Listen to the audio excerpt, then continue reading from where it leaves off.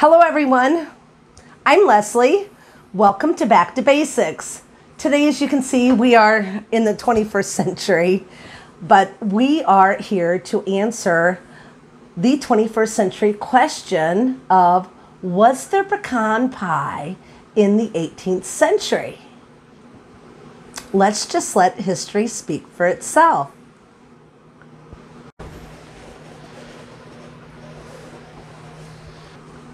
So let's start answering questions, addressing questions. So, pecans are actually a type of hickory nut. They are related directly to the hickory tree. They're um, of the same genus. So, pecans are one of the only nuts that are native to North America. Um, along with pecans, you have, of course, hickory nuts, since they're of the same genus, black walnuts, not English walnuts, but black walnuts, um, hazelnuts, and then you also have chestnuts. Don't forget about American chestnut. There are still American chestnut trees. They are subject to the blight. The new shoots come off of the roots, but it's not like any are going to mature into adulthood. But then you also have beech nuts and butternuts, and some places say they're not in with that, but beech nuts and butternuts. And don't forget about the oak trees that produce acorns. Acorns are actually a nut, and acorns were used a lot by the Native Americans, um, indigenous people. Okay, so are there recipes in any 18th century cookbooks for pecans? I have to say that out of all the recipe books I've looked at, I have yet to find a pecan recipe from the early, the time that we actually portray in our reenactment in our living history, if you want to call it that. I have yet to find a recipe from the early 1700s to the late 1750s, mid 1750s. I have not. However, most cookbooks are written on the other side of the pond. And pecan trees didn't grow in England. They didn't have pecans. However, they did have almonds. Almonds do not grow well in a lot of the portions of the United States. They don't grow well in Illinois because they bloom early, very early. And then our frost comes in, our late frost comes in, and it kills the blooms. And then there are no almonds. So we don't have almond trees in Illinois. However, they do grow them commercially in California. Totally different climate than Illinois. That might explain that.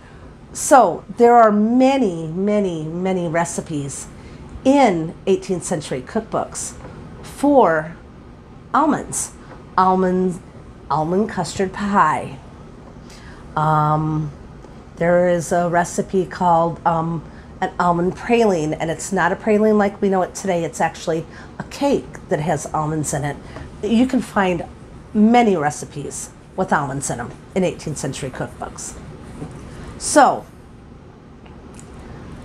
what happens if I'm French, which is what we portray, French in the Illinois territory, in the bottom, bottom ground, um, by Prairie du Rocher, Prairie du Rocher, along the Mississippi River, adjacent to Fort de Chartres. What do I do if I'm really hungry and craving an almond custard pie? I have no almonds. I can't go to the store and buy almonds. I can't even go on Amazon and order almonds. I have no almonds. But I really want a pie and I'm hungry for a nut pie. Well, it's been known that the French in the early 17th century down Louisiana way actually preferred the taste of the pecan in the praline cake as opposed to the almond, which is what it always was in France. I believe we're an industrious type people. We make ends meet. What do you do when you're cooking and you live in the country like I do and you don't have what you need? You substitute something else. There are no almonds here. I'm going to take these pecans that are easy to crack, they're super rich They're buttery. They're easier than almonds. I don't have to blanch them and slip them all out of their little peelings. We wouldn't even have had almonds here. Nobody makes almond anything in Illinois in the seven in the 18th century. In the 1750s, maybe later, they imported them over here. Slow boat from China or Europe. So I'm gonna make me and my family a pecan custard pie. And that's what we're going to do today. We are going to take an almond custard pie, and in place of the almonds, we're going to use pecans. And I'll tell you what, it's not the pecan pie that you have come to know and possibly love or possibly hate. It's a love hate thing. But I'll tell you what, it's an amazing pie. Stick around, see how it turns out. Okay, so we're gonna get ready to mix up this. Well, the recipe actually says to make almond custard. It's gonna be pecan custard. We already know that. so, I'm gonna read you the recipe really quick and explain just a couple of things. And I'm not gonna read all of it because it calls for rose water and orange flower water, and we all know that that's not to our taste now. Actually, I think it just calls for orange flower water, but I did read, just to let everybody know, I did read that rose water, it actually came from an English website and they were doing a, an historical recipe. And rose water, rose flower water now is actually way stronger than it was back in the 18th century. So they recommend cutting it half and half with distilled water. So it might be the reason why we don't find it palatable because now it's twice as strong as it used to be. But at any rate, we are not going to put in the orange flower water. But the recipe says to make almond custards, so we're going to make that pecan custards. Boil a mutchkin of cream, which is a mutchkin is equivalates to a little less than a pint. A mutchkin was a term that was used from 1661 until the late 1800s. We don't use that measurement anymore. Whether it was ever used in the States, I don't know. It actually is um, a Scottish term, which I find a little strange because it's in this cookbook by Elizabeth Cleland.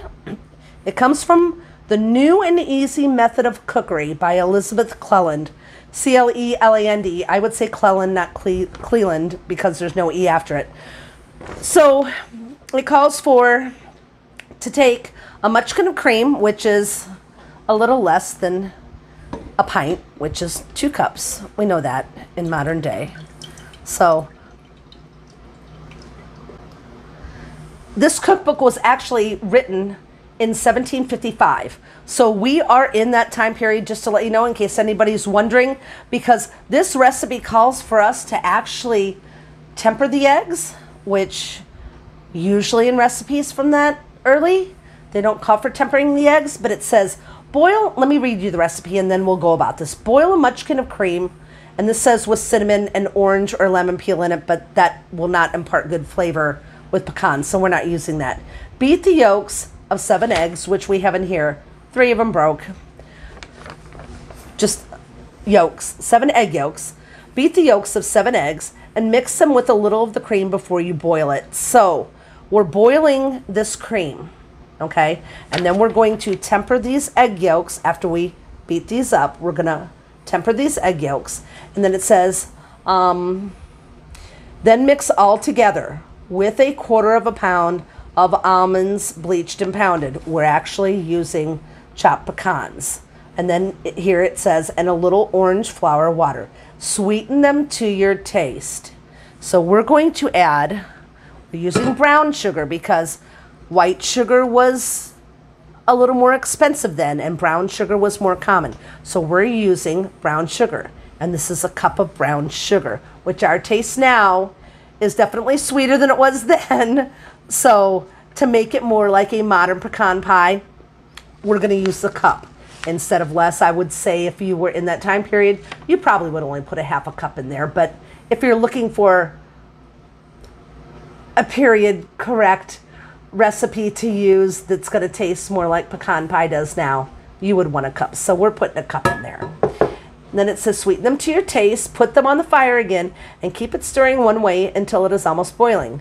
And take it up and put it in cups. Now that would that's if you're going to make the custard actually in custard cups. We're going to go the route of actually putting the custard in a pie. There are other recipes from the same time period that tell you you can put it in a pie, in a, in a paste, like a puff paste shell, or you can put it in cups. And we actually have a pan prepared, two pans prepared. We have tart pans. So we have two pans prepared for with puff paste for this filling when it's done.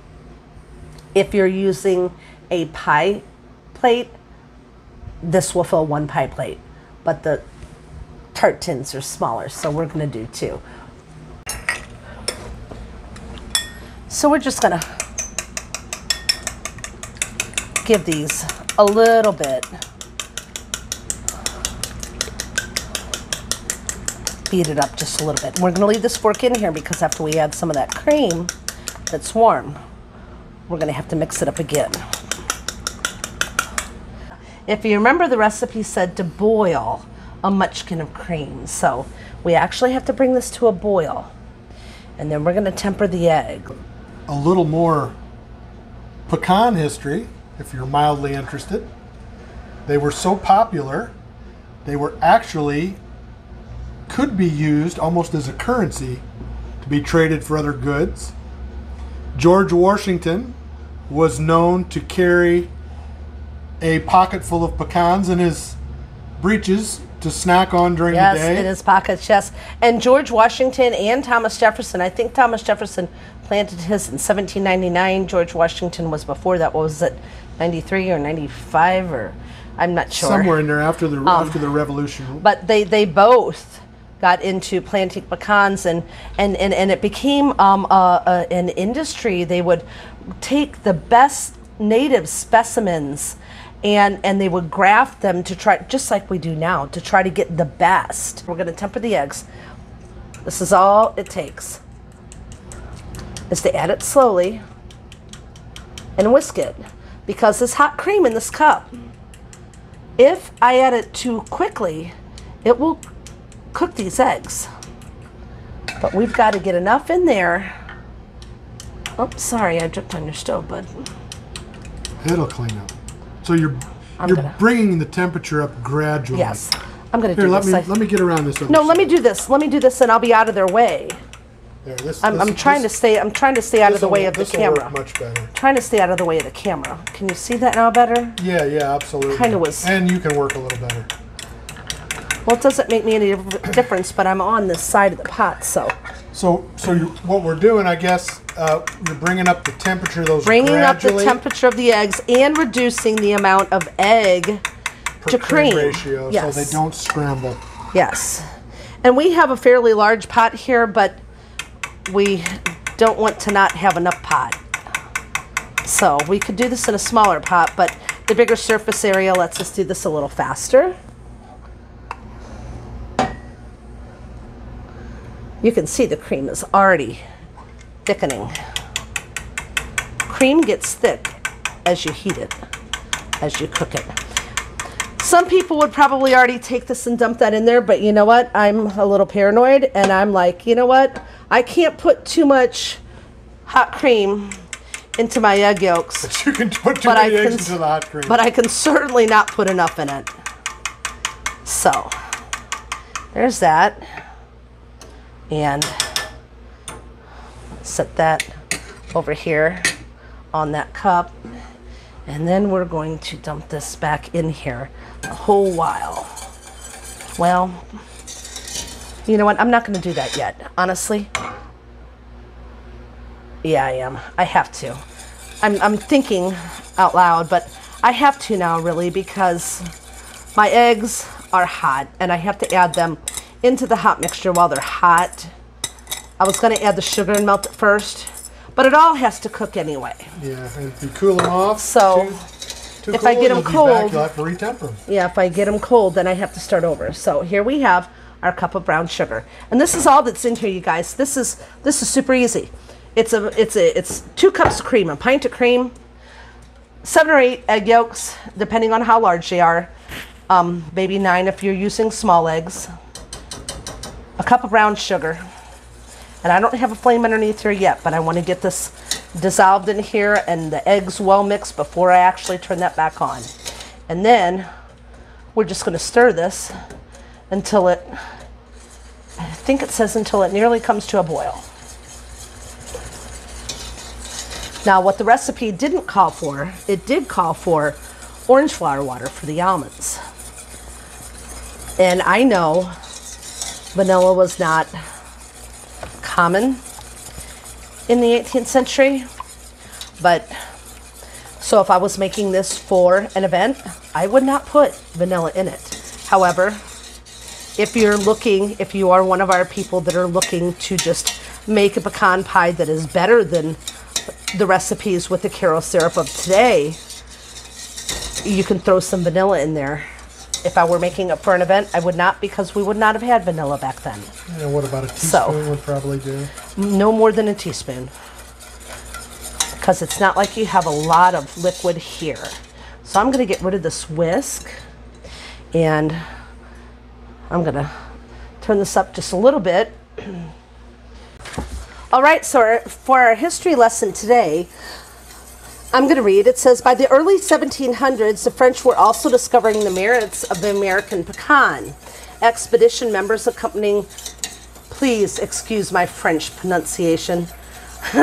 Jean Baptiste Lemoyne de Bienville wrote that all of the nuts, the best among them was the pecan. Even earlier, however, French Jesuit missionary Pierre Francois Xavier de Charlevoix documented La Salle's expeditions in the New World and noted that pecans were more delicate, possessing a flavor so fine that the French make pralines, which is the cake comprised of almonds, of them as good as those made of almonds. So, then we move on to colonial America. Once colonists discovered and shared pecans, the nuts drew interest.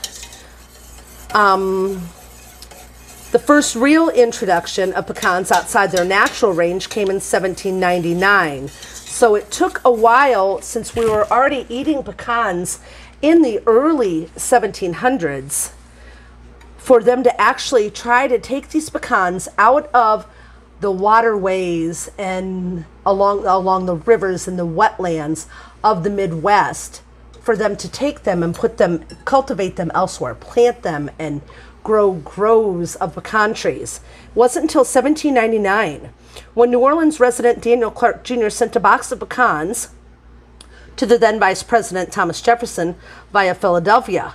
In his letter, Clark explained it might be worthwhile to cultivate it in Virginia for use and ornament.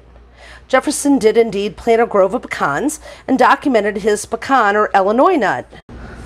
Okay, so we're dumping our pecans in here because we realized these were supposed to be in here while we were heating them, which is good. We're not up to a boil yet. It calls for a quarter of a pound, almost a quarter of a pound of almonds. And a quarter of a pound of almonds is equal to just shy of a cup of pecans. Now, by all means, if you have extra pecans, you could certainly add them in it. It can't make it bad. So we're just bring so we're bringing all of this up to temperature. We want the nuts and everything else to be up to temperature. Okay, so we are going to ladle half of this in this pie shell. And we're not going to make you watch us do both of them, but we're going to ladle half of it in here.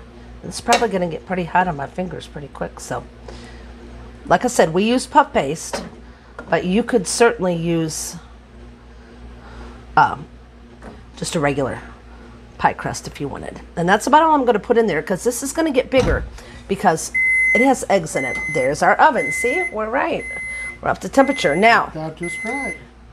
Like I said, you can't have too many pecans, so I have some extra pecans, and we're gonna put these extra pecans on the top of each one, Oh, they should get a really nice. and these are gonna get a really nice toasted yes, flavor. Yes. I have to confess, I'm not supposed to. Gino gonna kill me, but the reason why we're not showing you the other one is we're actually going to throw a little flaked coconut Yeah. in the other one. we this, this smells so much like German chocolate cake icing that we decided to throw a little shredded coconut in the other one just to see what it's like. It's what it smells like, so that's what we're going to do, you guys. This is the 18th century pie, and the other one will be the 21st century pie. Oh, yes. Here we go.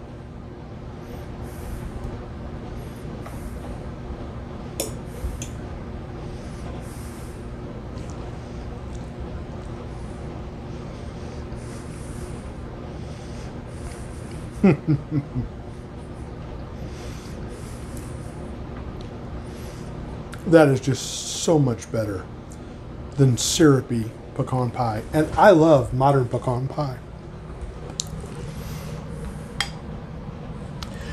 It's custard and pecans all the way through. No massive layer of syrup.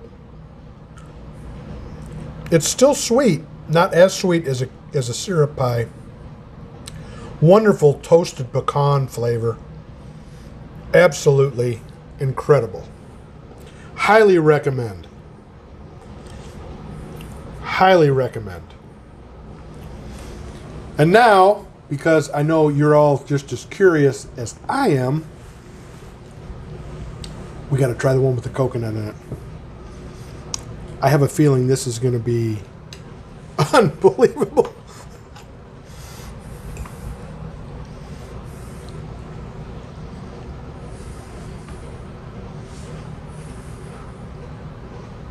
Oh, wow.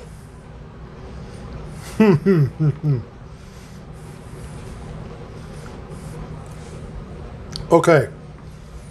At an event for historically correct pie, this stands on its own merits. It's wonderful. As a modern culinary masterpiece, this 18th century custard recipe with pecan instead of almond with the shredded coconut, unbelievable. Believable incredible. And all we did was add one cup of sweetened flake coconut, like mm-hmm. baker's coconut. That's all we did. Into the pie filling. Yes. before we dumped it in the shell. But the puff paste, the coconut, the pecans, this is wonderful. You guys should really try this. Thanks for watching. God bless y'all. We'll talk to you again soon.